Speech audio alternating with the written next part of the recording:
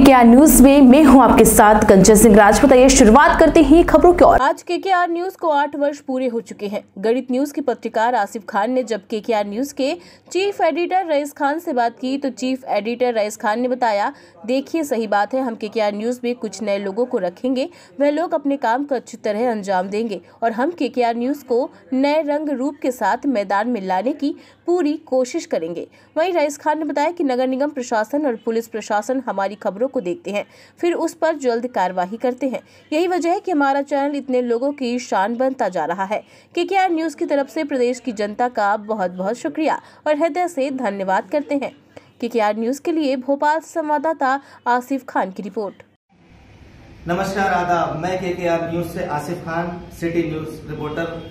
आइए मैं आपको आज के न्यूज़ रूम में खड़ा हूँ और आज आपको यहाँ से बताता हूँ कि प्रदेश का गौरव के आर न्यूज़ कैसे बनता जा रहा है, कैसे के आर न्यूज़ रणनीतियाँ बनाता है और कैसे एक टीम है जो एक पूरा वर्क करती है।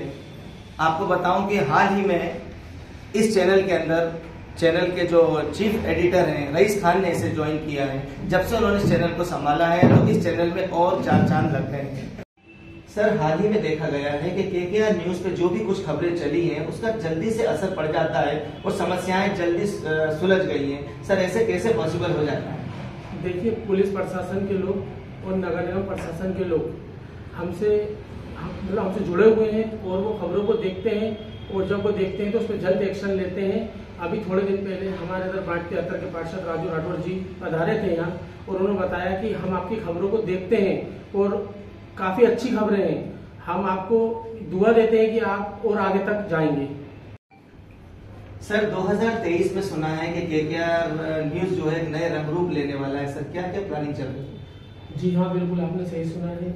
अभी जो साल आने वाला है नया इसके अंदर काफ़ी लोग नए नए हम लोग जोड़ेंगे जो कि हमारे के ख्याल में अच्छे तरीके से काम करेंगे और फिर हम उसको अच्छे प्लेटफॉर्म देंगे उनको।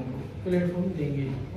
अच्छा अच्छा आइए हम के के आर न्यूज़ रूम के अंदर खड़े हैं और अगर सागर सोनी जी से नहीं मिले तो ये हमारी मुलाकात अधूरी रह जाएगी।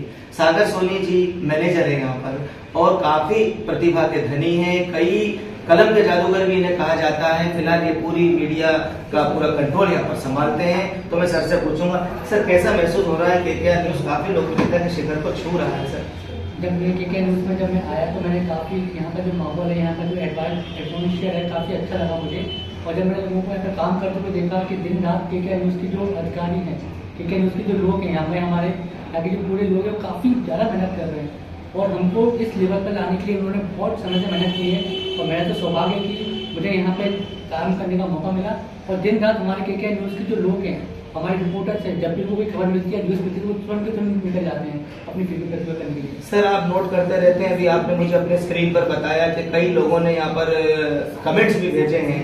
तो कमेंट्स की तादाद भी इतनी बढ़ती जा रही है के न्यूज़ में और न्यूज़ पेपर भी चलता है कैसा कैसा लगता है? जब हमारे पास हमारे चैनल पे जब लोग भी कमेंट्स आते हैं कि आपका न्यूज़ कर सकते हमारा निवारण तुरंत हो जाता है। तो के क्या न्यूज़ का एक यही प्रभाव है कि जब भी हमारी कोई न्यूज़ चलती है तो उसका निवारण तुरंत हो जाता है। और हमारा जो पेपर है वो काफ़ी समय से लंबा चलता आ रहा है और वो लोग को पसंद करते आ रहे हैं। ये बहुत अच्छा आपने देखा ये थी पूरी के के आर न्यूज़ की टीम जिसने कोरोना काल से लेकर के और मुख्यमंत्री की जन योजनाएँ हैं, उन्हें घर घर तक पहुँचाने में भी चैनल ने अहम रोल अदा किया है। पूरी राजधानी ही नहीं, प्रदेश के अंदर के न्यूज़ को काफ़ी लोकप्रियता मिल रही है। और आज स्टूडियो के अंदर आपने देखा कि मैंने कैसे नए नए चेहरों से आपको बात कराया है, जो पर्दे के पीछे रह गए के न्यूज़ की जो जान है, उन लोगों से आप आज मुखातिब हुए। मैं आसिफ खान के के न्यूज़ से। अभी के लिए बस इतना ही। हमारे चैनल में बने रहने के लिए हमारे चैनल को लाइक, शेयर सब्सक्राइब करना ना भूले।